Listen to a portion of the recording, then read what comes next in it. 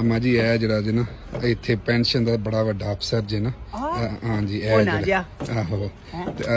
ਸਾਰੇ ਸੂਬੇ ਦਾ ਸਭ ਤੋਂ ਵੱਡਾ ਅਫਸਰ ਜੀ।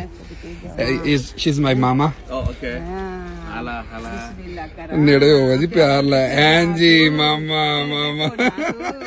ਕੋਈ ਗੱਲ ਨਹੀਂ ਜਿਉਂਦਾ ਰਹਿ ਪੁੱਤਰ ਜਿਉਂਦਾ ਜਿਉਂਦਾ। ਰਹਿ ਪੁੱਤਰਾ ਸ਼ੇਰ ਹੈ। ਤੂੰ ਆਨੇ ਸੁਣਿਆ ਅਫਸਰ ਹੈ ਅਮਾ ਜੀ ਇਹ ਨਾ ਪੈਨਸ਼ਨਾਂ ਜਿਹੜੀਆਂ ਨਹੀਂ ਇੱਥੇ ਲਾਉਂਦੇ ਬੱਚਿਆਂ ਦੀਆਂ ਪੈਨਸ਼ਨਾਂ ਵਡੇਰਿਆਂ ਦੀਆਂ ਪੈਨਸ਼ਨਾਂ ਇਹ ਉਹਨਾਂ ਦਾ ਅਫਸਰ ਹੈ ਪੂਰੇ ਜ਼ਿਲ੍ਹ ਪੂਰੇ ਸੂਬੇ ਦਾ। ਠੀਕ ਠਾਕ ਹੈ ਪੁੱਤਰ ਵਾਲਰਾ ਸੀ। She she say you you okay my friend Yeah, I'm okay. ਉਹਨਾਂ ਕਹੇ ਤੇ ਪੁੱਤਰ ਤੇਰੇ ਹੱਥ ਚ ਵਾਵਾ ਆਂਦੇ ਨੇ ਕੰਟਰੋਲ ਹੈ ਸ਼ੀ ਤੇ ਸੇ ਮੇਰੀ ਵੀ ਕੋਈ ਉਹ ਜਿਹੜੇ ਪੈਨਸ਼ਨ ਪੁਨਸ਼ਨ ਹੁੰਦੀ ਲਾ ਛੜਾਈ ਨਹੀਂ ਆ ਤੇ is ਫੇਰ ਆਉਂਦੀ ਰਵਾਂ pension as a yeah. You can hear, man. ਮੇਰੀ ਵੀ ਲਾ ਦੇ ਬੱਚਿਆ ਹੈ ਕੀ ਖਿਆਲ one document. I did. Document ਆਪੇ ਬਣਾਉਂਦਾ ਫਿਰ ਇੱਕ ਡਾਕੂਮੈਂਟ ਮੈਂ She say, ਕਿੱਥੋਂ ਬਣਾਵਾਂ she say, uh, you are my son. You must make documents yourself. ਆਪੇ ਕਿਤਨਾ ਬਣਾ ਮਾਮਾ ਵਾਸਤੇ Mama was. ਮਾਮਾ ਵਾਸਤੇ ਮਾਮਾ ਫੇਰ ਆਉਂਦੀ ਜਾਂਦੀ ਰਹੀ Here's my father.